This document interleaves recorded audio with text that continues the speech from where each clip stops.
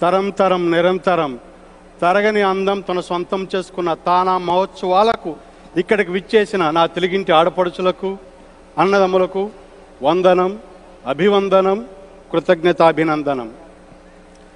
ఇవాళ ఈ కార్యక్రమం నేను చేయడానికి నాకు అన్ని రకాలుగా సహకరిస్తూ ప్రోత్సహించిన నా కుటుంబ సభ్యులకు హితులకు సన్నిహితులకు అందరికీ పేరు పేరు కృతజ్ఞత తెలుపుకుంటూ కార్యక్రమానికి వస్తే దానవీర సూరకన్న ఈ చిత్రం శ్రీకృష్ణ రాయబారం సన్నివేశం. ఈ సన్నివేశంలో అన్నగారు అనర్ఘలంగా ఆరు నిమిషాల పాటు పలికిన ఆ సంభాషణలు ఇతర నటులు నాయకులు పలికితే ఎలా ఉంటుందో మీకు ఒకసారి అనుకరించి చూపిస్తాను.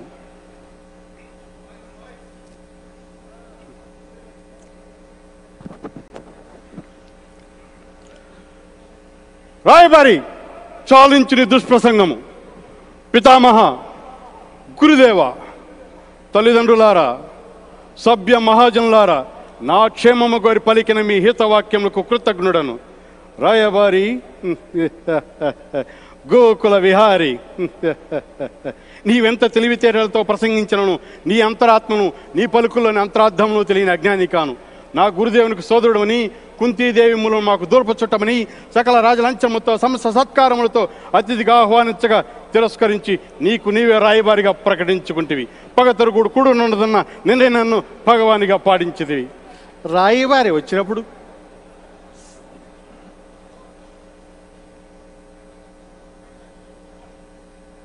రాయబారి వచ్చినప్పుడు? రావట్లేదు. ఏం చేయవు రారాజు ఆశ్రములు ఆచారము కాదు గనుక దీన్ని ఉచిత రీతినే గౌరవించి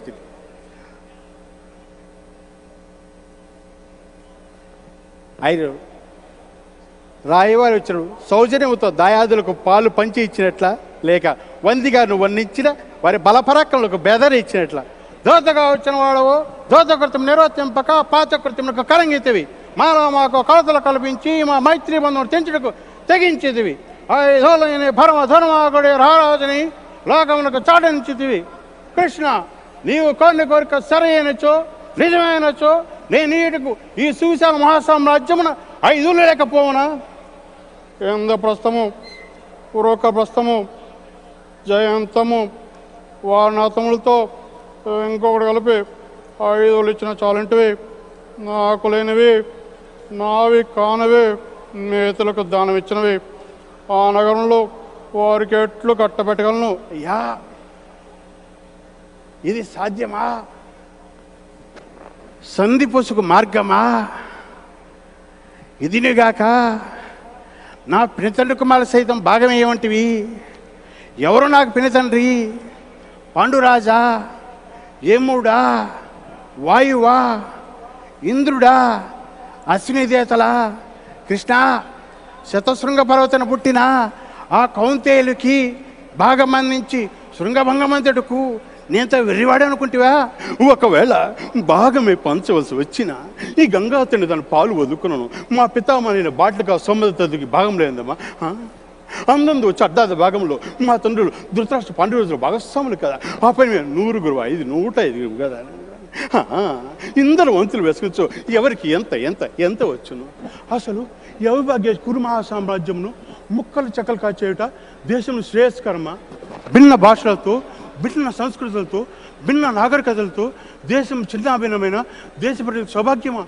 ప్రజలందరూ ఐక్యమత్యంతో ఒకే కుటుంబముగా ఒకే పాలన కింద క్షమం కదా? ఈ విధానం ప్రకారం ఆస్తి పదమూడు సంవత్సరాల పాటు పరాధీనవచ్చు దానిపై హక్కు శాశ్వతంగా తొలగిన సత్యం ఎరుగువ? అందుకే కానీ మీకు పెట్టింది కానీ మతి మాలి కాదు. అయినా సరే ద్యూతానంతరము ఆనాడు ద్రౌపది మా తండ్రి గారిని కోరిన కోరికలు రెండు. మొదటిది గా మా దాసన చెప్పిండు. గా ధర్మరాజ దాసముక్తి ఇక రెండోది ఇక నలుగురు బాధల దాసముక్తి అంతేకాని రాజ్యభాగం గోరిండా? మేము ఇచ్చినామా? ఉందా ఎడన్నా? చూపించండి. దశాబ్దాల గట్టి మోసం చేసింది మీరు కాదు. ఉందా ముచ్చట? అయినా కృష్ణ ఈనాడు వా రాజ్యభాగం కోనిట్టు మేము పాంచాలను కొనిచ్చో ఆ? కోనిచ్చో తిరిగి వారు మాకు అప్పగించగలరా? అప్పగించగల. సిగ్గు లేక పంపిన పంపవచ్చు కానీ ఎగ్గు లేక నీవు అంగీకరించి రావచ్చునా? ఆ? రావచ్చునా? ఆ? ఇక నీ బెదిరింపులందో ఆ కౌంతేలు నీ యొక్క పలకం సంపేత లేని ప్రచండ దౌర్జన్య మనిషి లేని అరివీర భయంకరం లేని సంగ్రాముడికి సమాజంతో పడక ఐదుళ్ళు కొరికిట్లు దేహి దేహిందు దేవనితుడే హే? సంవరము సేయురే బలము సాలినన్ ఇంత ఎలా? ఆ కౌంతేయులకు వాడి చూసి మన భూమితో భూమిని కూడా అయ్యాను ఇదే నా తుది నిర్ణయం. రారాజ నీవన్నట్లే ఎగుగాక రణమే జరుగుగాక ఆస్తు సెలవు. మా లేటెస్ట్ వీడియోస్ని చూడాలంటే KSR RX hundred TV YouTube ఛానల్ని తప్పక సబ్స్క్రైబ్ చేయండి. అలానే పక్కనున్న బెల్ బటన్ని క్లిక్ చేసి నోటిఫికేషన్ని పొందండి.